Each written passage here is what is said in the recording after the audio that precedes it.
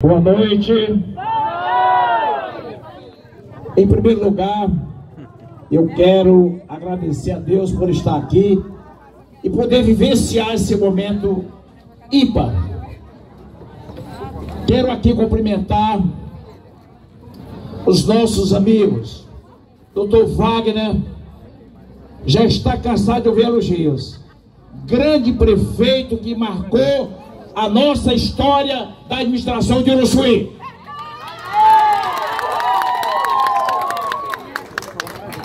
Nós estamos aqui também com o Joel, que é o representante, o presidente do nosso PP estadual, que está aqui também prestigiando este momento bonito. Quero cumprimentar as senhoras, os idosos, as crianças, as gestantes, a todas as pessoas. Cumprimentar os candidatos aqui, que eu tenho a convicção, sem querer menosprezar o outro lado, que são os melhores nomes para ajudar na futura administração. Esses candidatos que aqui estão são pessoas sérias e comprometidas. Deputado Gustavo Neiva está aqui veio prestigiar e toda vez está presente. E é um grande representante e que consegue benefícios para o Ushuí. Gustavo Neiva.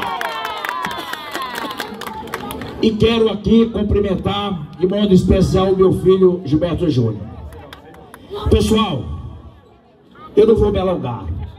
Eu quero só dizer a vocês que o futuro de Uruçuí continua nas mãos de vocês vocês, homens mulheres, idosos, e aqui eu estou vendo, com todo respeito aos homens, a grande maioria são mulheres.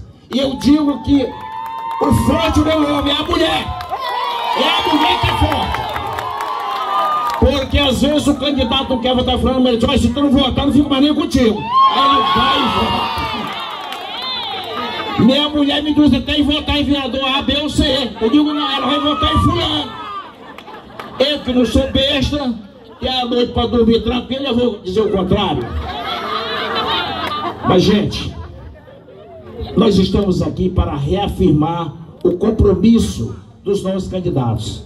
Gilberto Júnior será a continuidade, a continuidade desse trabalho incansável que esse gigante doutor Wagner, meu colega de profissão, impôs aqui no Suí e tornou essa cidade uma das cidades mais pujantes do estado do Piauí. Está trazendo aqui empresas, emprego, mobilidade urbana, melhorou todos os setores da atividade humana.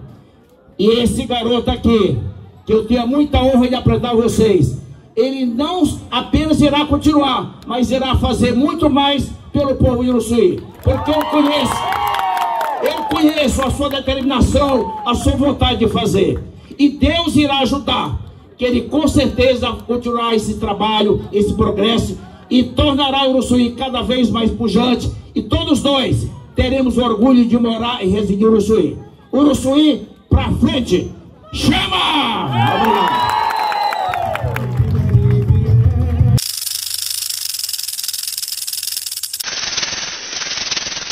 Cobra Choca, a lente nervosa do município de Uruçuí.